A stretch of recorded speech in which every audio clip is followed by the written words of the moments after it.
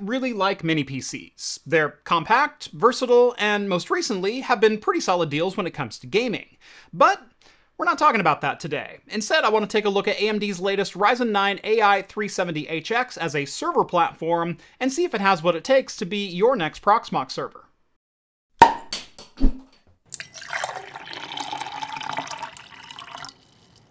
Welcome back to Craft Computing, everyone. As always, I'm Jeff.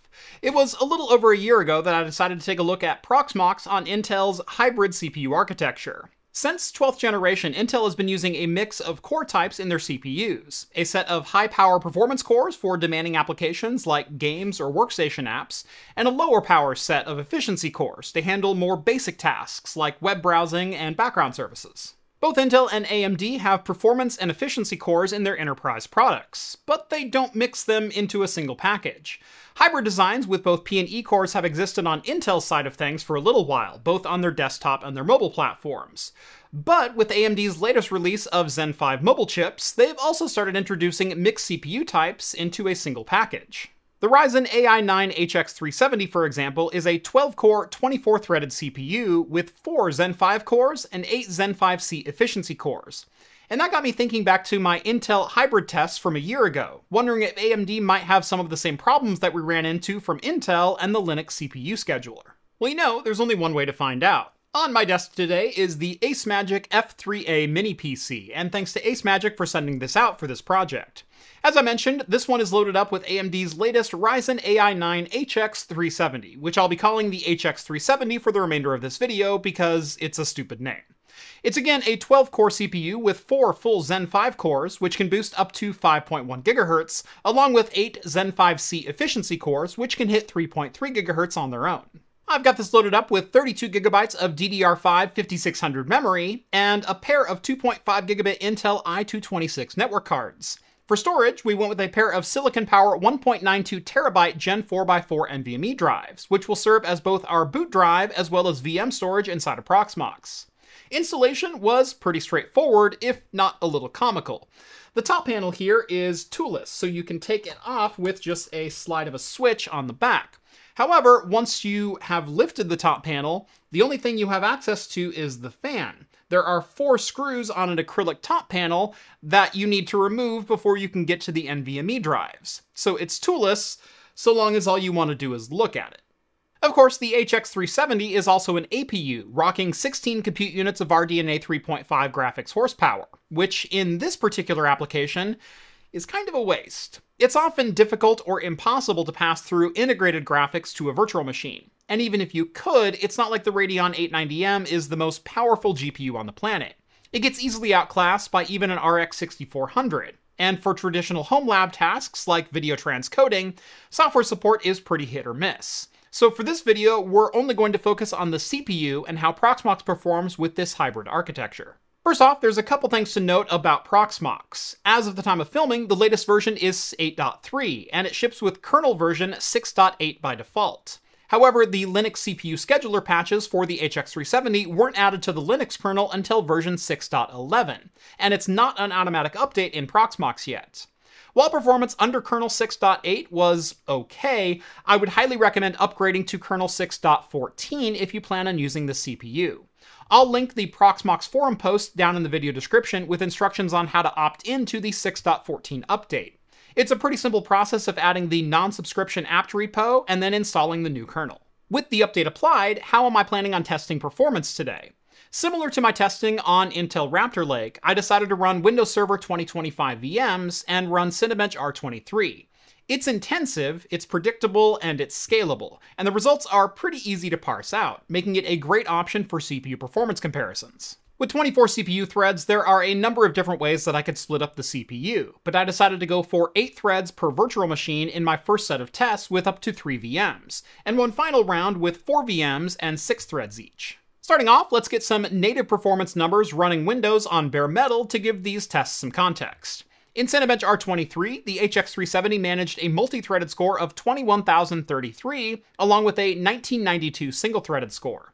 Running a single VM, I did make sure to test with both kernel 6.8 and 6.14, and the results make it clear you want the latest scheduler patch. Single threaded scores were down to 1435 on the older version, with a score of 1796 in the latest update.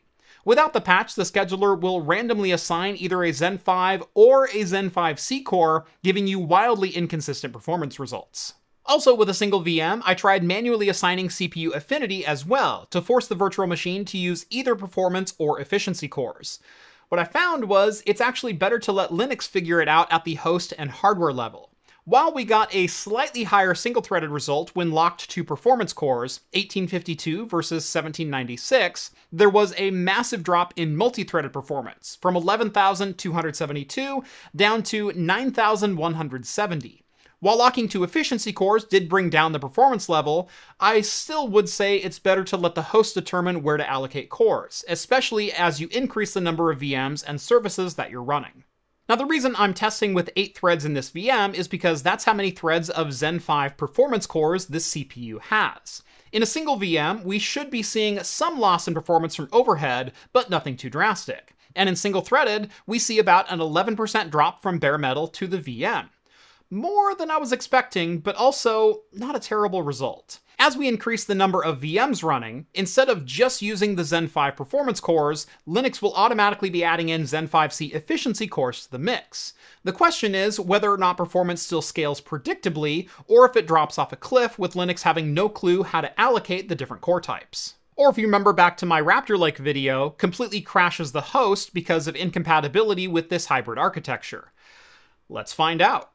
Jumping in with two virtual machines, each again configured with 8 threads, and Proxmox handling the scheduling and affinity automatically, we see scores of 8011 and 8138 in multi-threaded, or around a 28% drop in performance from running a single VM.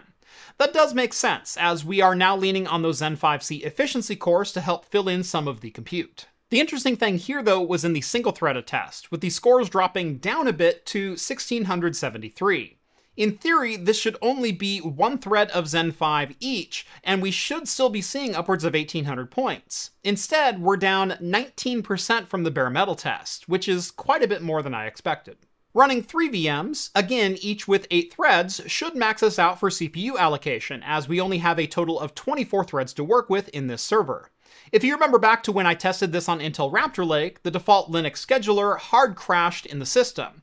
I'm hoping support for AMD's multi-core hybrid CPU is a bit further along than that. And to be fair, along with some of the microcode updates, Intel hybrid CPUs are very well supported in Linux and virtualization setups today. With 3 VMs, we get an average multi-threaded score of 6,161. That's a combined score of 18,464, which is only around 12% behind the bare metal score of 21,033. Pretty impressive overall, considering we're using every single thread with nothing left over for Proxmox to manage itself with. Unfortunately, single threaded scores dropped again, from a native score of 1992 to 1796 with one VM, 1673 with a pair, and now 1530 when running three. That's a 24% drop in single threaded performance when there should be really no reason for it. The CPU isn't being thermally or power limited when running three individual threads at 100%, with the rest sitting at idle. And finally, I tested four VMs running six threads each, again for a total of 24 threads in use. In multi-threaded, we get an average score of 4,344, or an aggregate total score of 17,377, slightly below our 3VM test and around a 17% loss to overhead compared to bare metal. But still, what I'd consider to be an impressive result, given this is still just a 45 watt laptop CPU running four individual virtual machines. Single threaded performance again fell off though, this time with an average of 1437, or around 28% below the bare metal numbers. While not nearly as impressive, that's still well above the mark set when testing the Zen 5C efficiency cores, which only managed 1166 in a single VM, when affinity is set manually for the Zen 5C cores. So why am I bothering testing Proxmox on a mini PC? Aren't more home labbers buying server racks and stacks of used enterprise equipment to run their virtualization anyway? If you watch channels like mine, you might think that that's exactly the case. Myself, I have a couple of 64 core EPYC CPUs, over a terabyte of memory, and around 400 terabytes of storage, along with 100 gigabit networking to sling all that data around. But let's back up a little bit. In 2017, buying some used Xeons was a fantastic deal to get a ton of performance. Modern CPUs were still Intel 7th gen quad cores, and you could pick up 8 or 12 core Xeon chips for less than 100 bucks. Motherboards also began to drastically drop in price as well, making used enterprise gear that much more appealing. But over the last five years, the cost of enterprise hardware has not only flatlined, it's gone up in some cases. This Supermicro H11 SSL motherboard, which is for first generation EPYC Naples, I bought this back in 2020 for $325. This board, today, still sells on eBay for $420. Enterprise hardware cycles have been spread out a bit further than usual following the global pandemic, along with economic uncertainty from the last couple years. With less medium sized businesses cycling out servers for new gear, there's less used gear on the market.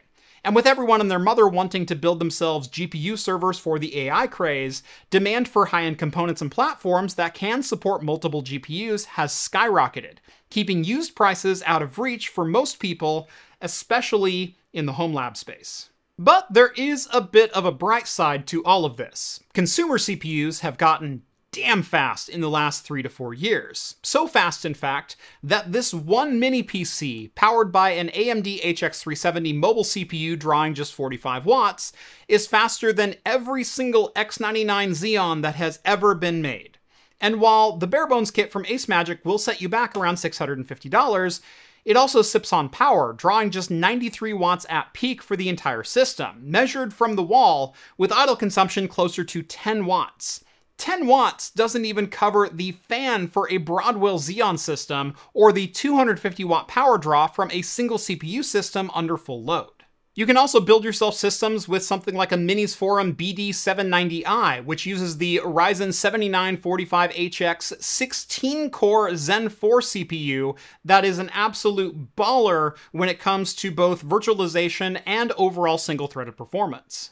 Unless we start to see prices for used gear drop, which I don't necessarily see happening anytime soon, the home lab scene may start to shift from full server racks and a thousand watts of power draw to maybe some simpler and lower power systems, especially for VM hosts and general purpose servers. Enterprise gear is definitely a lot of fun to play with, but if prices remain high, consumer gear is starting to make more and more sense. And with power draw for modern enterprise CPUs climbing well above 450 watts per socket, consumer gear is likely going to be the future of home labs anyway. Thanks again to Acemagic for sending out the F3A for this project. If you're interested in what is a very solid mini PC and an AMD Ryzen AI 9 HX370 APU, I will have links down below on where you can pick one up for yourself. On your way down there, make sure to drop this video a like and subscribe to Craft Computing if you haven't done so already. Follow me on social media at Craft Computing for daily shenanigans like this. And if you like the content you see on this video and want to help support me in what I do, consider joining the Patreon. Link is also down in the video description. And that's going to do it for me in this one. Thank you all so much for watching, and as always, I will see you in the next video. Cheers, everyone.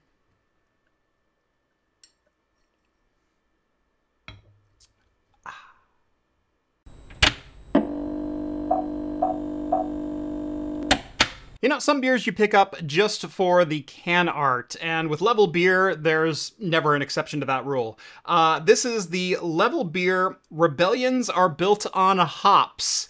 Uh, Galactic IPA, clocking in at somewhere around 6.7%.